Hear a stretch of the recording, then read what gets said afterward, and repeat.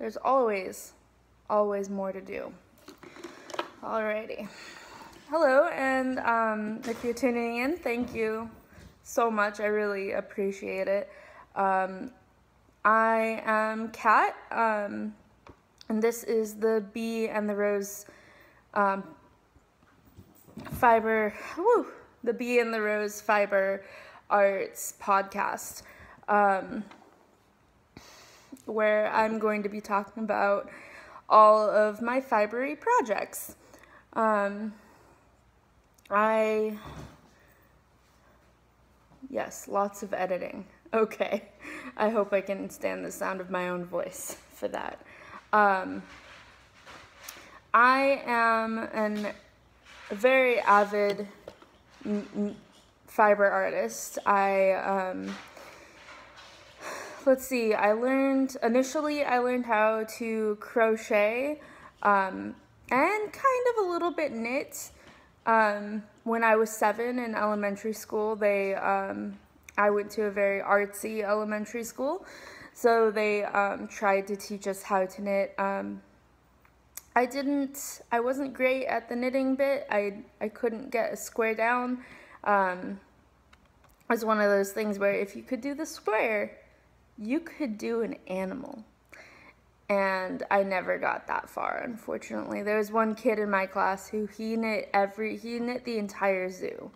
Like they would give him a pattern uh, for a stuffed animal, and he would like finish it and get on to the next one. Like he knit every pattern they had. It was amazing. But I was able to cr- crochet a recorder case.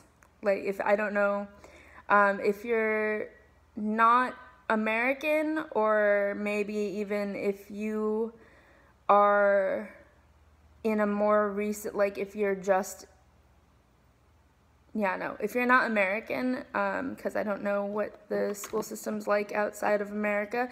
Um, in America, most elementary schools um, have you learn recorder, which is a woodwind instrument um, it's a very big whistle with, with holes. Um, so I knit a case for that. Um, not knit, I'm sorry. I crocheted a case for that. I'm as bad as the muggles.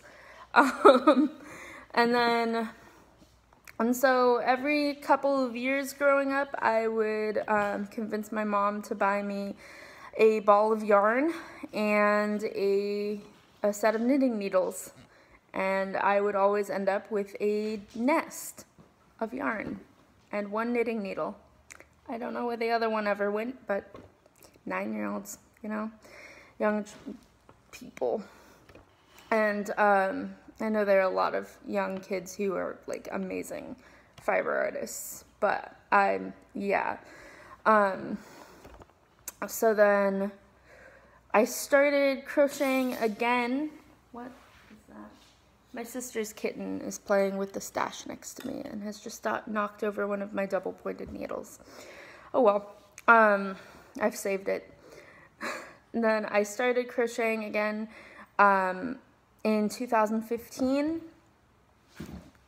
because let's see, I was I was 21 and um, I was chasing my dog around the yard and I fell and I broke my foot and um, I I was bedridden for three months, and my computer had broken a couple of months before that. So I was like, well, I need to do something with my hands, or I'm going to go mad.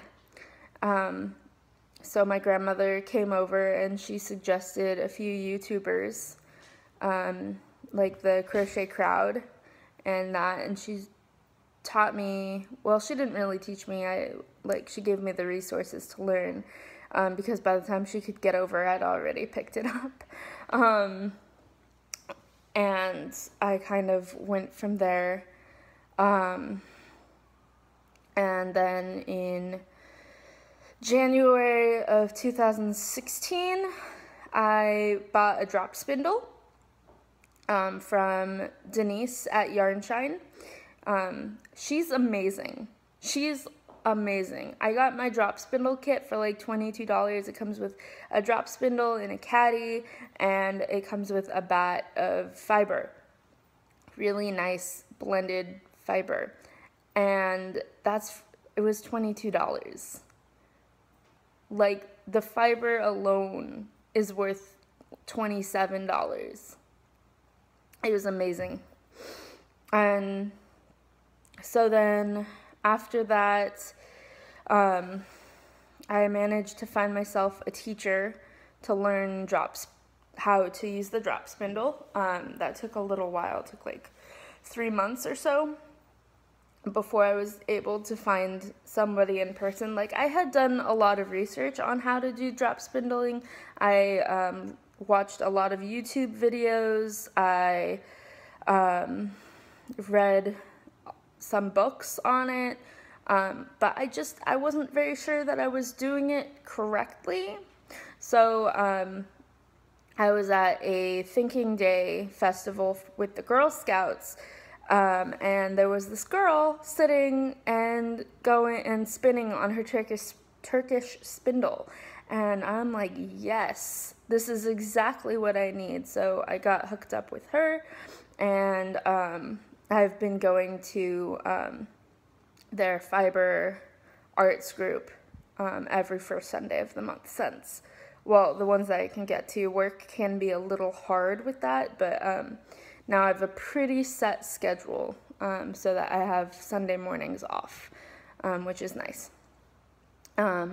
And then through all of this time, since about January, I had begun to try knitting again. Um, but I kept like I, I was I know how to knit and I know how to do a knit stitch. I knew how to do a purl stitch, but every time I made a finished a row, it would be longer than the last one. It would have more stitches.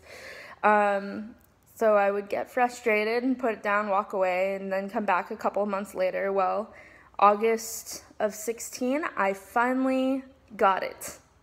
I don't know what I was doing wrong before, but it was no longer happening.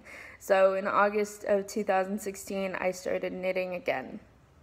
Um, and I haven't really put down the needle since. Um, uh, like, now that I'm knitting, I crochet, but only on occasion, usually when I want to make a quick stuffed animal. Like um, in December, I made a snowman. I, I crocheted a snowman and I gave him earmuffs and then I knit him a cable sweater. Uh, not sweater, but a, a scarf.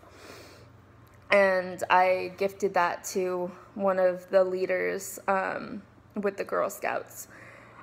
And then in January, I made a skeleton, and I think that was the last thing I crocheted. It's been almost, it's been like 10 months since I've, I've sat down and actually crocheted something. Um, I love crocheting.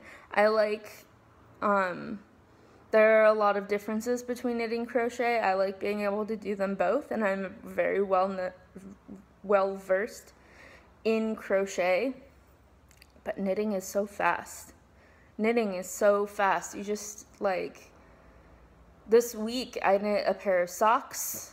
I'm knitting a baby sweater. I've I've, I've knit a full shawl. Actually, the full shawl took me a year, but knitting is so fast. Um, I also this summer, um, no, I think last summer I picked up needle felting. Um, and I dabble in that a bit. Um, I'm going to show you something I've got from that. And then this summer I picked up embroidery, which I kind of haven't really touched much, but I would like to get more into if my muse could just let me put down the knitting needles for five seconds. That would be nice. Um, but yeah, so I've pretty much dived right into this rabbit hole. Um, and I'm I, I love it. I just love it. Um, I've been kind of wanting to do a podcast for a very long time, but every time I turn on the camera, my voice gets stuck. Um, pretty much the only reason that hasn't happened today is because I'm I'm kind of directing this at a specific person I've who I'm comfortable with talking with. And that's how I've gotten around that um, that awkwardness. Not awkwardness, but fear. Yeah, fear. Um, I think that is it for introductions. Um, I spin on an Ashford Kiwi Gen 1. Um, oh, which I bought in March. I forgot to mention that. I bought a spinning wheel in March uh, with my tax refund. And I've been spinning, well, I haven't spun anything since Tour de Fleece, but boy, during Tour de Fleece, I get through like 10 ounces of fiber, um, which uh, is a lot for me. Um, pretty much, I would wake up in the morning and start spinning, and then I'd go to work, and I would come home at like 1 or 2 a.m. and start spinning again. Um, so I don't really need that much sleep. I get like four hours, and I'm I'm good to go. Um, not that it doesn't hurt, but that's what my body allows. Um, let's see. I think next I've got my finished objects, which I need to grab. I keep them so close, right? Um, can I pause this? Okay. Wow, I didn't realize I'd started already. Already. So finished objects. So first, um, we have these, these cute, tiny little socks. Oh my god. Um, these are knit out of um, Shiner by Stranded Dyeworks um, on the Paradise base. Um, it's a fingering weight merino cashmere nylon blend. Um, it's so soft and so pretty. It's a purpley gray. It's very, very nice. I also knit, knit, spoiler alert, knit a pair of mittens out of these. These are going to be a present for a friend of mine who is, um, I think, expecting a baby this month. Like, he, he should be here any day now. Um, I'm very excited. This is the first pair of socks I've ever knit. Um, and these are the second pair of socks I've ever knit. They're kind of covered in cat fur already because I wore them yesterday. Um, these are shorty vanilla sock. Oh, get in the camera. I don't own sock blockers yet because I haven't had a need for them. But the yarn crawls tomorrow, so I think they're going to go on my shopping list. Um, this is knit out of um, Lion Brand um, Woolies sock yarn. I can't remember the name of the colorway, but it reminded me of um, the Ravenclaw book house colors. So I went ahead and grabbed that. Um, it does have some silver and green in there as well, um, which is makes me a little sad that I didn't get my wish of being a Slytherclaw like my sister. Um, but that's okay. They're really nice. Um, they're uh, they're the first adult size sock I ever knit. Um, I did, I cast on, oh yeah, the, they're knit with um, size 2.75 millimeter needles, which is a US size 2. Um, I cast on 72 stitches and um, I did it top down and I used a kiss, bleh, kiss lit fish, lips, kiss, heel. Fish, lips, kiss, heel. Um, and then I, for the, the toe, I did an alternate rounded toe. My sister's kitten is playing with my fiber. I hope it's safe now. One can never know with cats. Um, and let's see, I really, it's just a vanilla pattern. Like I was kind of just, I gave it a three by one ribbing and I was just like, let's see what fits my foot. And um, it did pretty well. Uh, it's a little loose around the actual foot, but 72 inches is definitely what I need for the heel.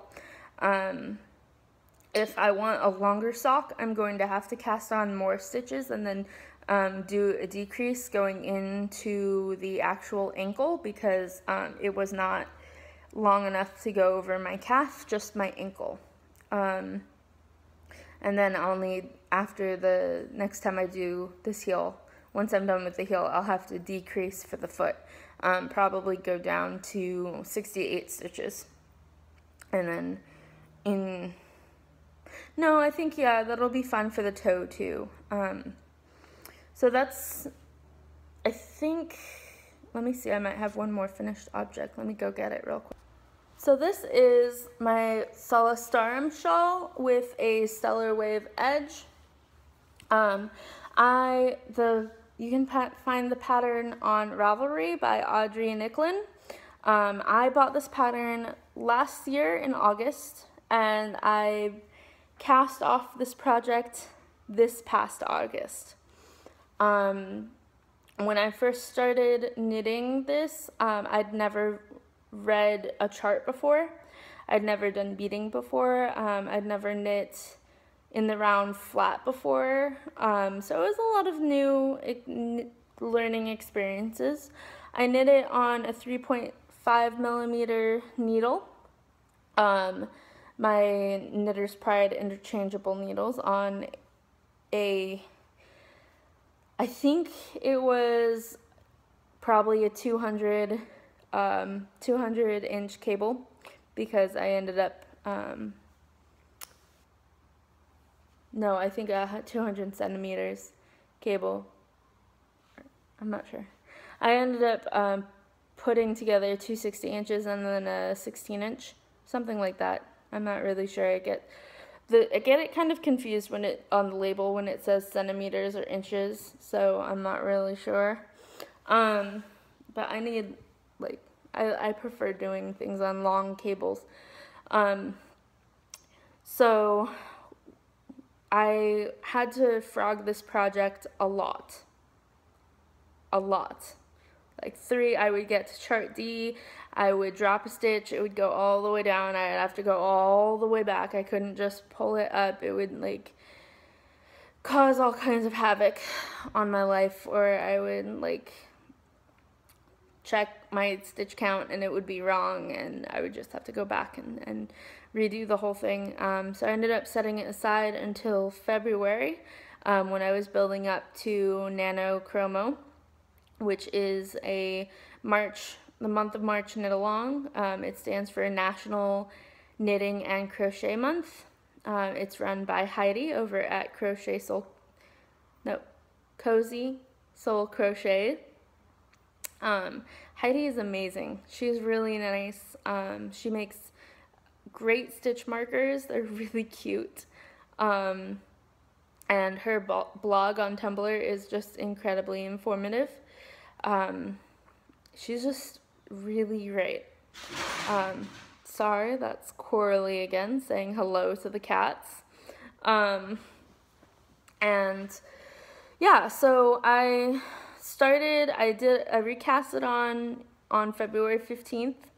I cast, I knit charts A through E all the way in 15 days and on March 1st I started chart F and um, I made it till round 132 um, out of 158 so I got really close to my goal but I didn't quite make it um, and then um, I ended up setting it aside.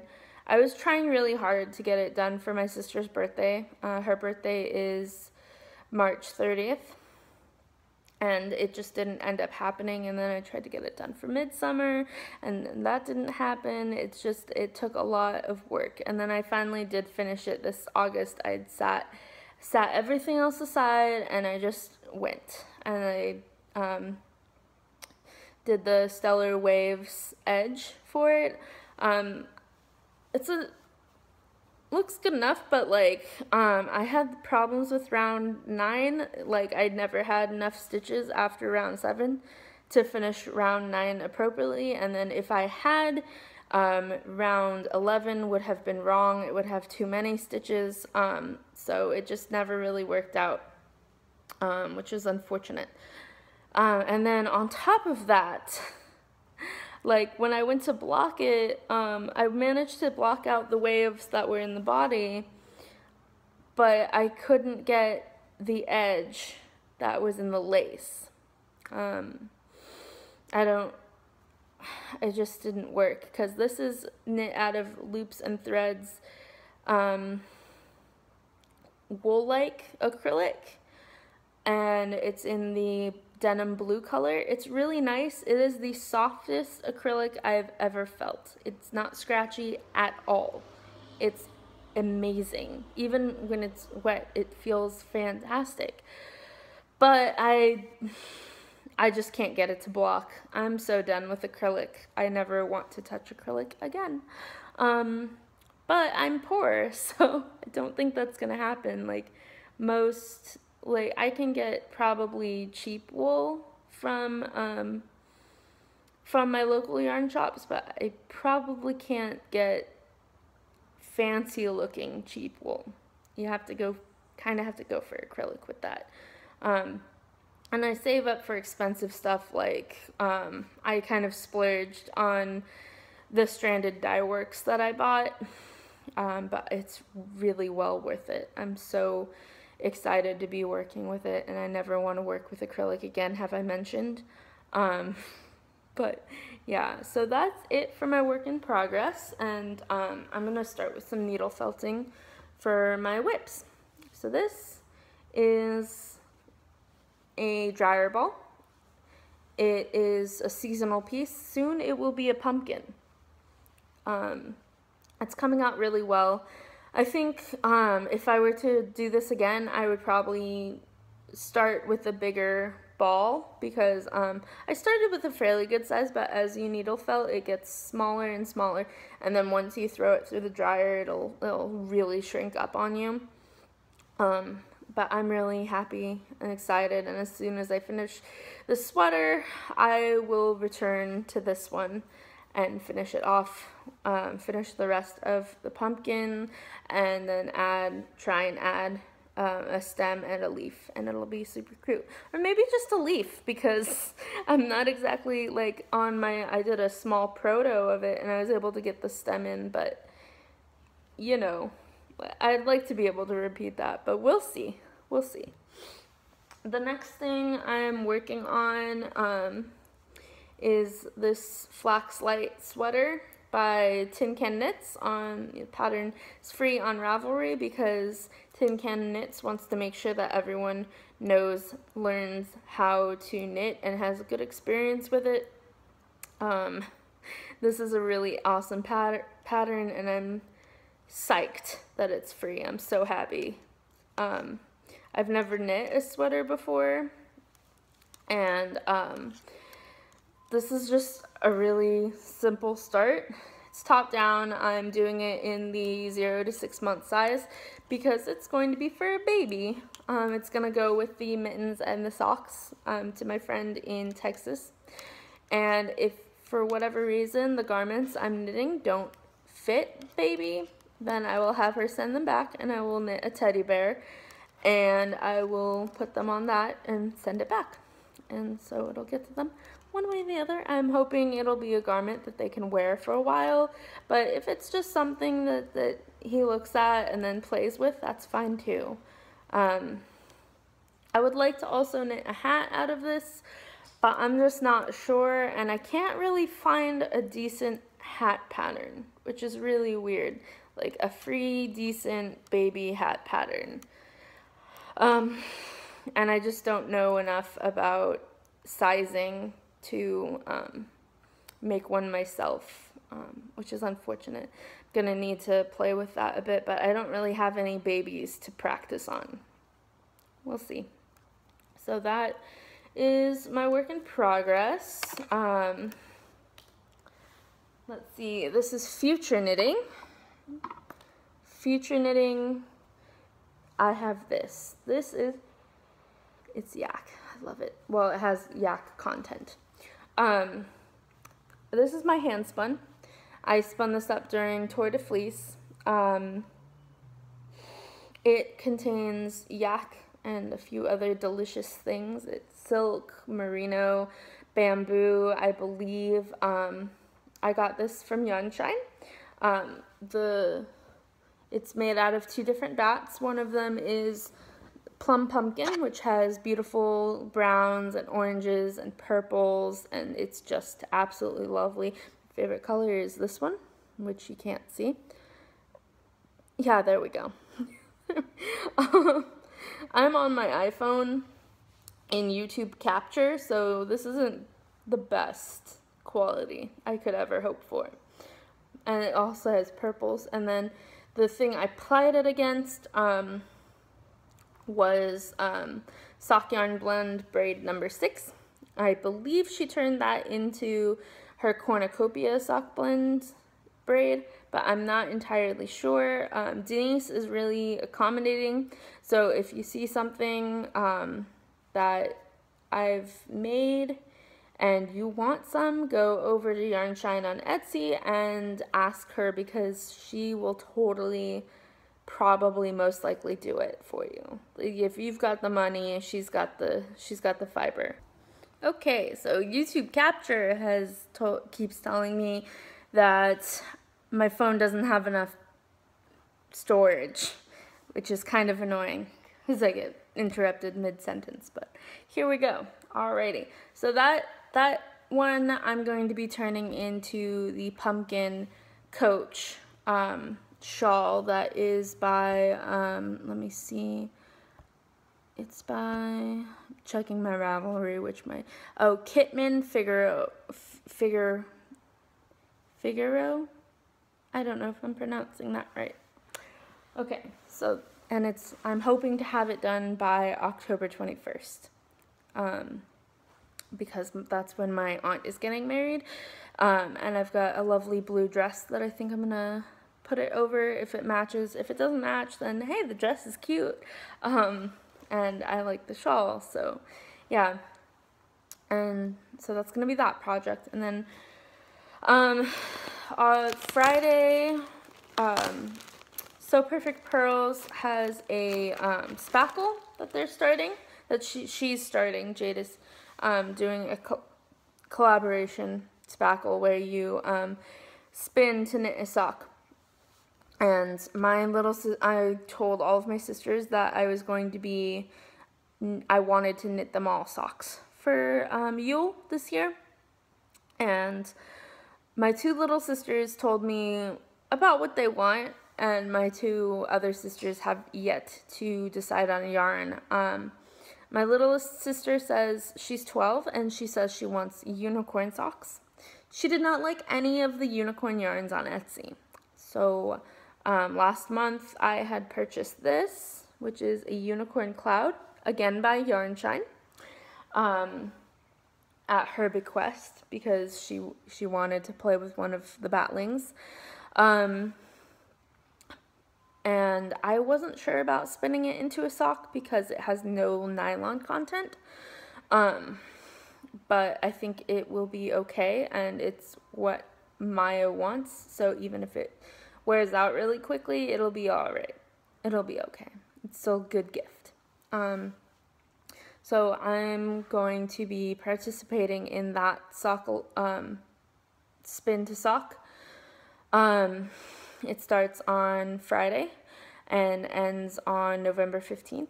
And then I'm hoping that um, if I can get it done by November 1st, I might be able to enter it into um, Amy's festive sock along. Amy from Stranded Dye Works of Stranded Dye Works is going is also doing a sock along that started September 1st and goes until November 1st. Um, so they've already started, but I've, I still have a month and a half to do. Um, and it only takes me about four days. Um, it, it'll probably only take me about 12 days because it takes me four days to um, spin three ounces of, of yarn. And then it takes me eight days to make a pair of socks. And I'm going to be using Candy Cane Socks by um, Knitty Melissa on, off of Ravelry. It's a free pattern. It has lace candy canes throughout the leg.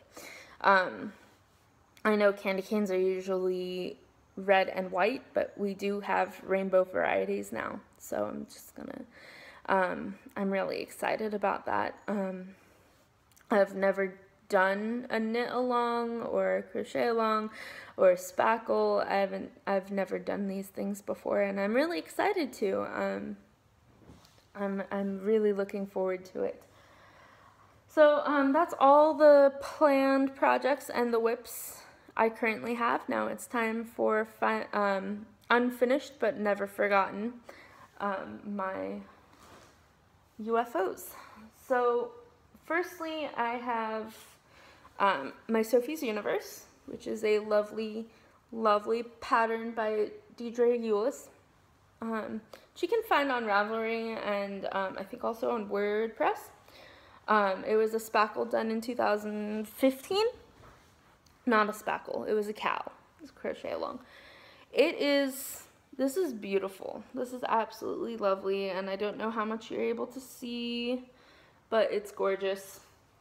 Um, I knit it, I made the mistake of knitting it out of Red Heart's Unforgettable yarn.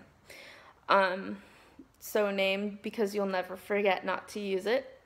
Um, it's really gross yarn. Like it's it's pretty and um, in comparison to other Red Heart yarns, it's not as scratchy, but it's still scratchy.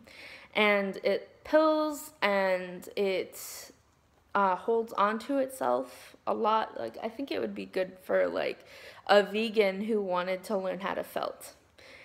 you could probably use this fiber for that. Um, like you can't frog if you frog, it'll just get caught on itself and you're stuck. I had to, the first time I tried Sophie's Universe, I ended up cutting it away from the ball I happened to be using at that time because I could not frog it. And then I abandoned that colorway altogether. Um, so I'm pretty close to finished. I think I have like one more section to go, but I think instead I'm just going to find a good stopping place and um, and bind off. Um, so that will be it for that one. And then I have like a million ends to, to weave in, which I hate doing, but I will do it. Um, actually today I saw um, Yarn Experiments is putting out a Dia de los Muertos colorway. It's not for Halloween, it's for Dia de los Muertos. Thank you. Um, I think I might try and do that, a Sophie's Universe in that. That's pretty. I, I wasn't sure, like, I'm, I'm probably going to buy it, but I don't know what I'm going to make out of it. I don't like doing that. I like having plans for my yarns. Sometimes you don't have plans, though. Okay, next. Um, okay, so this is my dragon's pelt.